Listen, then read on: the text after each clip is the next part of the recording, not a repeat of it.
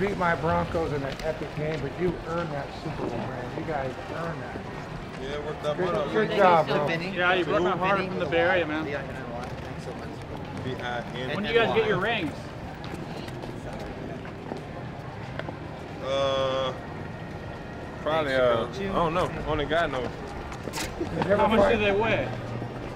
Do I look like uh, a wing, wings, wings, wings, whatever you call them? did they ever find out who unplugged the, or who didn't pay their light bill?